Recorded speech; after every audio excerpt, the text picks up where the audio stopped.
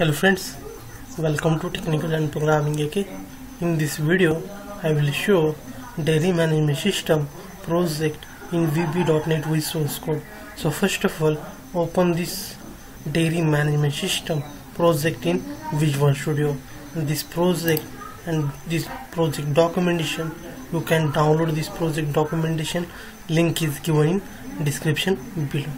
So first of all, open this project in Visual Studio 2015 and then explain step by step. So this project is developed in VB.NET. This is the Windows application project. So Visual Studio 2015 is opened and Dairy Management System project is opened in Visual Studio 2015. So the loading solution projects files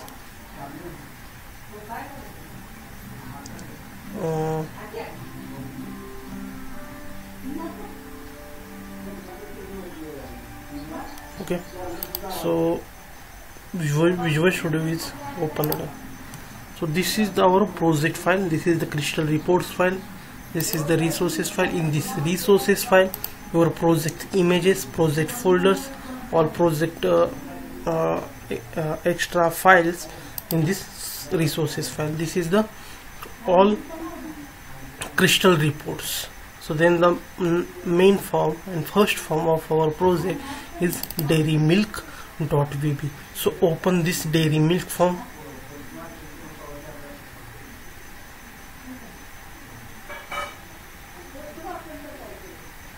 Okay. So this uh, uh, dairy milk form is opened.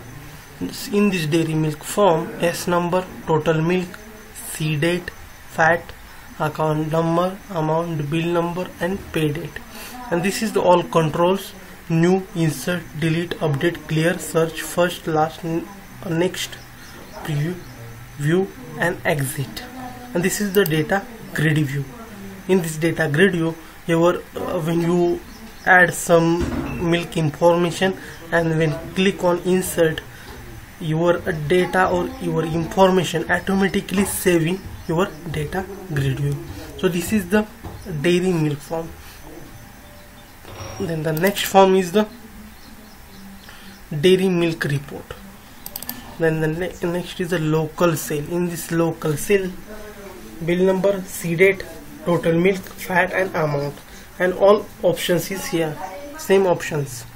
The next is the local login master. This is the login page. In this login page username password when we click on ok you automatically redirect on main form. And this is the main form of our project. In this main form there are multiple sections master transaction reports and extra. In this master section supplier master dairy milk supplier payment supplier milk milk receiver exit. In this transaction section transaction local sale. Then the next is the report. In this report section supplier report local sales report daily milk report supplier payment report transaction report supplier milk receiver report. Then the next is the supplier master. In the supplier master form in the supplier information yes number yes name yes city yes add and supplier pin code. Yes means supplier then the next is supplier report. Supplier payment. In this supplier payment form supplier number fat milk and amount. Then the next is the transaction. In this transaction section account number fat total milk amount paid it this is the all options. So this is the our dairy management system project. You can download this project link is given in description below. So i hope you like this project and like this video. If, if you like this video subscribe to my channel technical and programming ak and click on bell icon for notification of new videos. So thanks for watching this video. Bye friends. Thank you so much